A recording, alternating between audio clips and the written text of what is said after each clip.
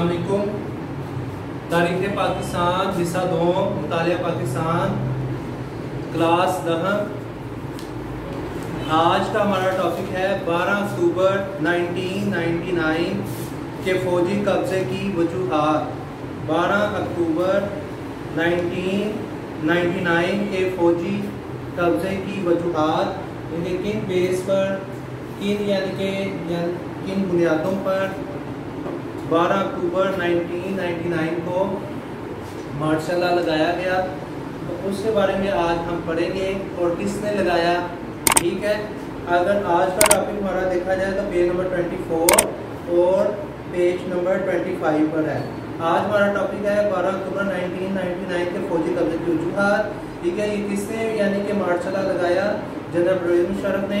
फिर परवेज, दूसरा टॉपिक साथ ये है कि परवेज मुशरफ के दौर में इख्तियार की निचली सतह पर मुंतकली और मुकामी हुकूमत, यानी कि मुशरफ के दौर में इख्तियार जो हैं, निचली सतह पर उसने, यानी कि लेके जाने के लिए क्या किया? और मुकामी हुकूमत के बारे में आप क्या जानते हैं?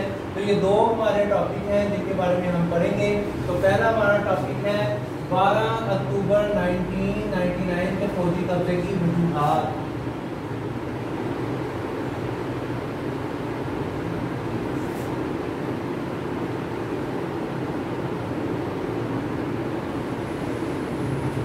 तो यहाँ पर शॉर्ट क्वेश्चन बनता है, पेज नंबर 24 पर। यानी कि 12 अक्टूबर 1999 के फौजी कब्जे की वजूहत बयान करें। शॉर्ट क्वेश्चन है 12 अक्टूबर 1999 के फौजी कब्जे की वजूहत बयान करें।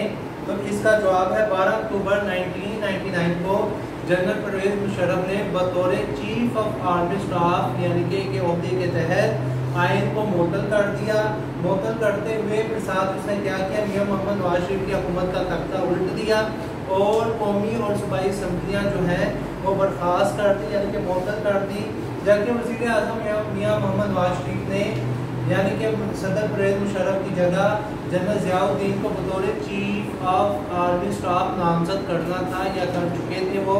लेकिन इस, यानी कि इस फैसले को भी मियाँ नवाज़ शरीफ के इस फैसले को उन्होंने गैर आनी करार देकर संधियाँ तोड़ दी। यहाँ तक इसका जवाब।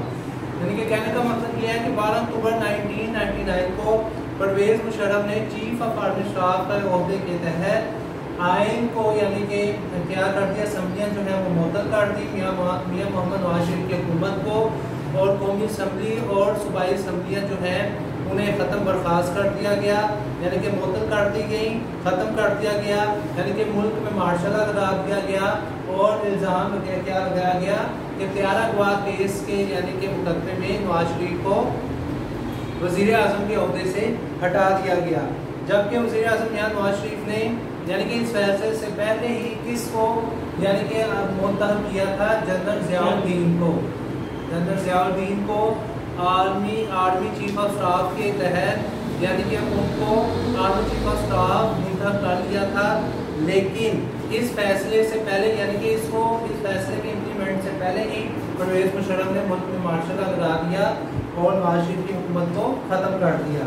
यहाँ तक है ये जवाब इसका, जो शॉर्ट क्वेश्चन मैंने पाया अब हम पढ़ेंगे परवेज मुशरफ के दौर में इख्तियार की निचली सतह और मुकामी हुकूमत। यानी कि परवेज मुशरफ के दौर में इख्तियार को निचली सतह यानी कि कहाँ तक लेके जाया गया और फिर मुकामी हुकूमत जो थी उसके बारे में आप क्या जानते हैं? निचले इख्तियार को निचली सतह पर ले जाने से अवाम को क्या फ़ायदा हुआ तो इसके बारे में भी पढ़ेंगे। अब परवेज मुशरफ का दौर हुकूमत शुरू हो चुका है। अब उन्होंने अपने दौर हुकूमत में आपके साथ ही कौन सा निज़ाम इंट्रोड्यूस करवाया? मुकामी हुकूमत का। तो शॉर्ट क्वेश्चन बनता है कामी हुकूमत से क्या मुराद है? शॉर्ट क्वेश्चन बनता है पेज नंबर ट्वेंटी फोर पर ही है। कि मुकामी हुकूमत से क्या मुराद है?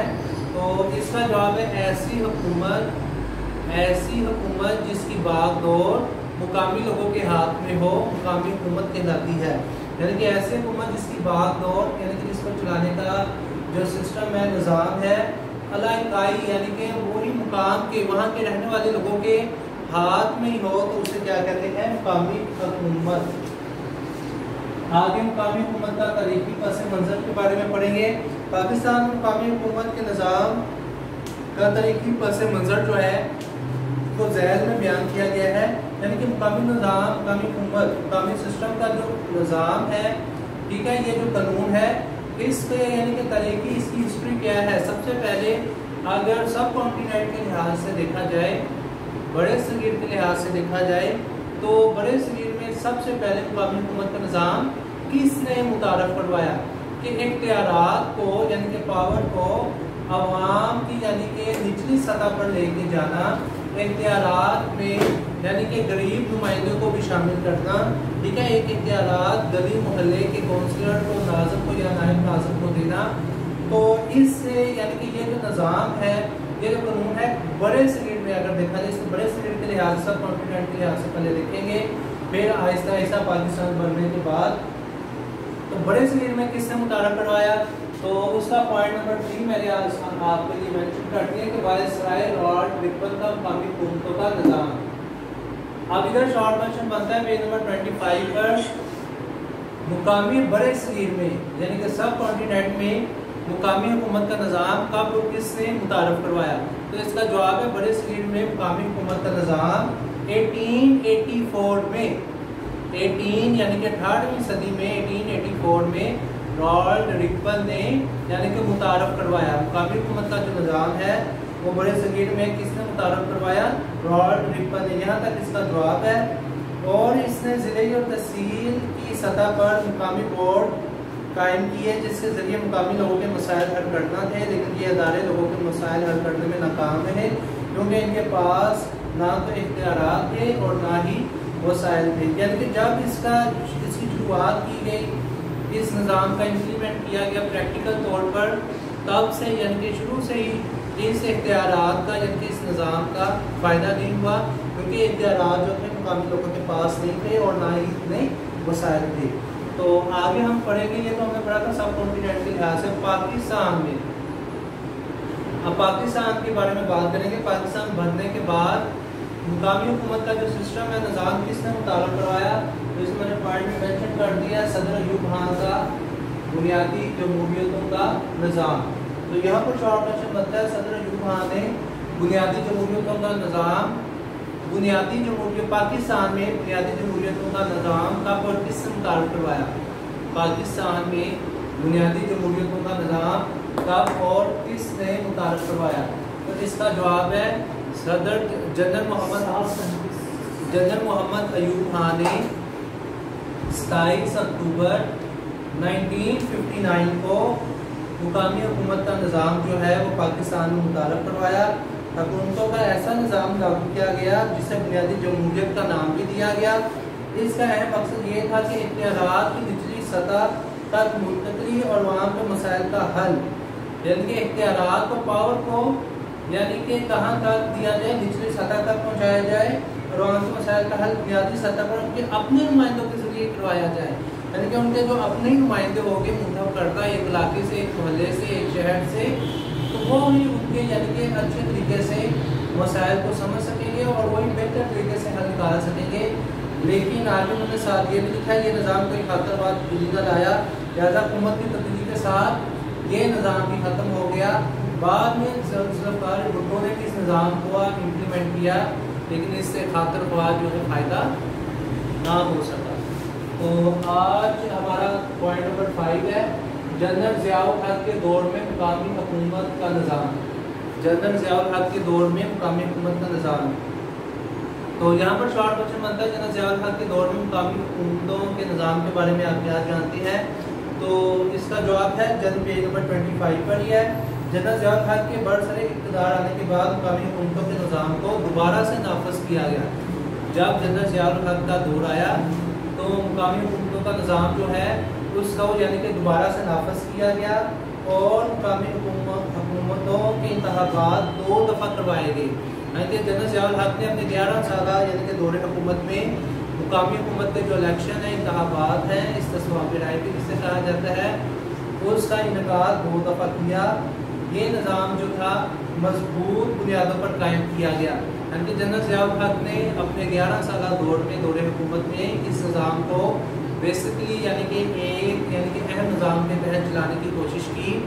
इनका ये मकसद था कि यानी कि इख्तियार जो है, आवाम की निचली सतह तक भी पहुँचे और आवाम के यानी एक गली से कस्बे से गाँव से शहर से जो मुंतब करदा नुमाइंदे जो हैं, वो अपनी आवाम के मसाइल को यानी कि बेहतर तौर पर समझ सकते हैं और उनके अलावा यानी कि कोई भी इनके मसाइल का बेहतर हल नहीं निकाल सकता। लिहाजा लिखा हुआ है कि ये निज़ाम जो है, मज़बूत बुनियादों पर कायम किया गया। अब और मरहलावार तरक्की करता रहा, मगर अवाम की अक्सरियत जो है, इसमें कोई खातर हुआ फ़ायदा ना हो सका। यानी कि निज़ाम का इम्प्लीमेंट भी किया गया, नाफिज भी किया गया, लेकिन अवाम की जो अक्सरियत है, इससे कोई भी फ़ायदा नहीं उठाया।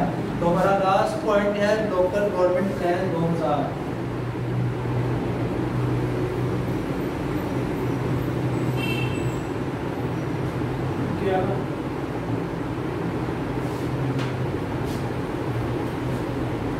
अब यहाँ पर शॉर्ट क्वेश्चन बनता है कि लोकल गवर्नमेंट प्लान यानी कि मुकामी हुकूमत का निज़ाम कब और किस पाकिस्तान में? पाकिस्तान में लोकल गवर्नमेंट प्लान यानी कि कब और किस तारफ करवाया? तो इसका जवाब है जनरल परवेज मुशर्रफ ने 12 अक्टूबर 1999 को हुकूमत संभालने के बाद मुकामी हुकूमत के निज़ाम में वाजिया तब्दीलियाँ लाने का वादा किया। कि इकतदार और अवाम की निचली सतह तक यानी कि मुंतकिल किया जाए। लेकिन उन्हें मुकामी हुकूमत का निज़ाम जो है, कब लाया गया? 12 अक्टूबर 1999 को परवेज मुशर्रफ ने मुतारफ करवाया और इसने कहा कि इकतदार को आवाम की निचली सतह तक भी लाया जा सके। यहाँ तक इसका जवाब आगे एक और शार्ट क्वेश्चन बनता है कि पाकिस्तान में मुकामी हुकूमत के निज़ाम को कितने हिस्सों में तकसीम किया गया है? पाकिस्तान में मुकामी हुकूमत के निज़ाम को कितने हिस्सों में तकसीम किया गया है? तो इसका जवाब है, पाकिस्तान में मुकामी हुकूमत के निज़ाम को तीन हिस्सों में तकसीम किया गया है। पहले तहसील हुकूमत, फिर ज़िले हुकूमत, फिर यूनियन हुकूमत। यानी कि तीन हिस्से हैं, यूनियन हुकूमत तहसील हुकूमत और ज़िले हुकूमत। तो आज का हमारा टॉपिक था 12 अक्टूबर 1999 के फौजी कब्जे की वजूहत, जो कि पेज नंबर 24 पर था। ठीक है, उसके बाद हमने मुकामी हुकूमत किस तारफ करवाया। जनरल परवेज मुशरफ के दौर में क्या क्या इसका इम्प्लीमेंट किया गया। उसके बारे में पढ़ा। लास्ट हमारा टॉपिक था लोकल गवर्नमेंट प्लान 2000 इसके बारे में भी हमने पढ़ा, जो पेज नंबर 25 तक है। तो पेज नंबर 24 और 25 आपने अच्छे तरीके से याद कर करना इसकी प्रैक्टिस